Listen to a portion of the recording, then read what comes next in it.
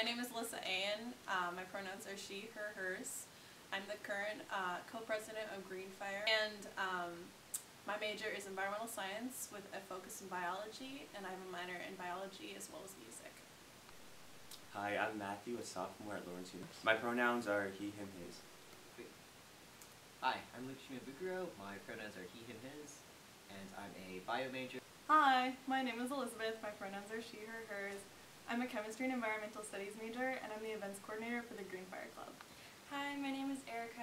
Uh, I'm a senior here. I was interested in attending the Wild Things Conference because I am somewhat environmentally illiterate, so I wanted to be more environmentally conscious and practical. And going to the Wild Things Conference to learn about urban sustainability and overall sustainable methods.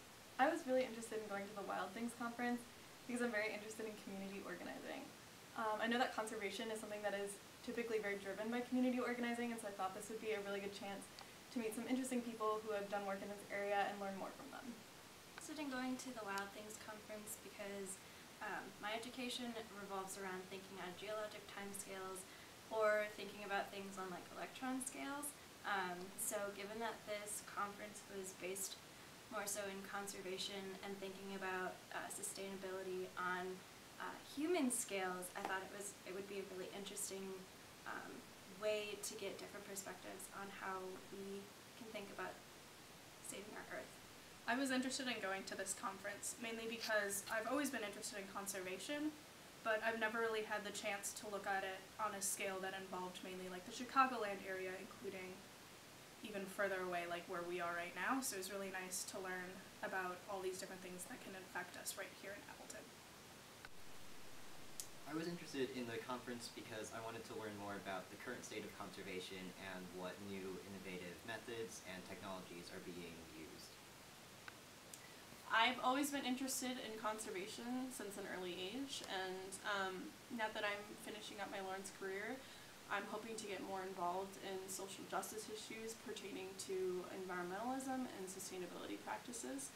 So I thought this would be a great way to start being uh, introduced to the community and uh, the various interdisciplinary um, parts of it as well.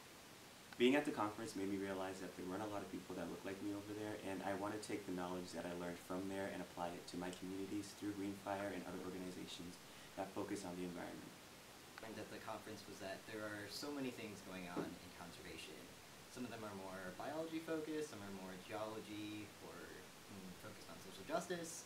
There are lots of different uh, there are lots of different majors that someone might be. Uh, so while I was at the conference, I attended this session, um, which is basically like how to make science funny, um, but more than anything is like making science approachable. Uh, and something that I strive to do here at Lawrence, um, but also for the rest of my life, making science accessible to the community um, and not making it this big scary thing where all we do is wear lab coats um, and mix scary chemicals together. So that's not that is part of science, but it's so so much more than that. Um, so what I'm taking away from this conference is that really at the stem of making our world um, more envi environmental fr environmentally friendly um, and really implementing sustainability in our world, we really need to start with educating the next generation.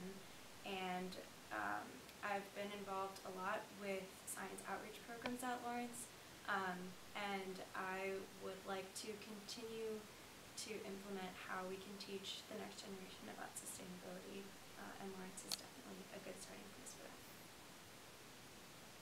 So personally, I really like to grow things in a pot in my windowsill, outside, and going to this conference gave me an opportunity to go to this workshop I was super excited about called Native Seed Mix Design for Restorations for Prairies.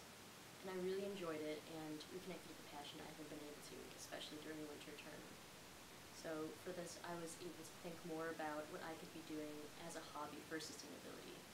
As there's another talk about having a garden in this one person's backyard and her and helping for urban agriculture. Growing up in Colorado, I really had the privilege of being able to appreciate the natural environment around me and being able to visit the conserved sites that are all around that state. Um, but something that I've also sort of grappled with as I've come into my college years and learned more about social issues that are facing us in the current state of the world is how we can balance conservation issues that are typically heavily focused on plants and animals with needing to take care of humans that are in this environment as well. So something that I'll really take away from this conference and bring back with me to campus is thinking about how we really live in a balanced ecosystem where we need to maintain both the health of plants and animals in addition to human health so that we can all, as humans, really have a more productive and healthy environment to live in. So this will really inform my work continuing as an environmental studies major and with my work in the Green Fire Club. So while I learned a plethora of information from many disciplinaries shared at the conference, I think something I took away um, that was really impactful to me personally um, was the current innovative ways individuals and groups are challenging climate change and are establishing sustainable practices in their own communities. Um, and that can be on a very small scale or a very large scale. Um, and what struck me most was certain projects uh, like um, close to actually close to the city of Chicago, um, just outside of it in Rosemont, there were new um, restoration projects of uh, land that was used uh, with uh, large industrial practices before, and they were actually rehabilitating the state of the environment, and um, this helped reintroduce um, wetland birds into the area and actually supported these huge migratory bird populations. So that gave me a lot of hope and a lot of um, a lot of promise to the future if we all work together collaboratively, listen, and um, experience this together. If you want to learn more about sustainability practices on campus, as well as current social justice issues pertaining to the environment, please visit the Green Fire Facebook page, as well as um, our meetings, which are on Wednesdays at 7.30, and we do have an open dinner at 6.30 beforehand.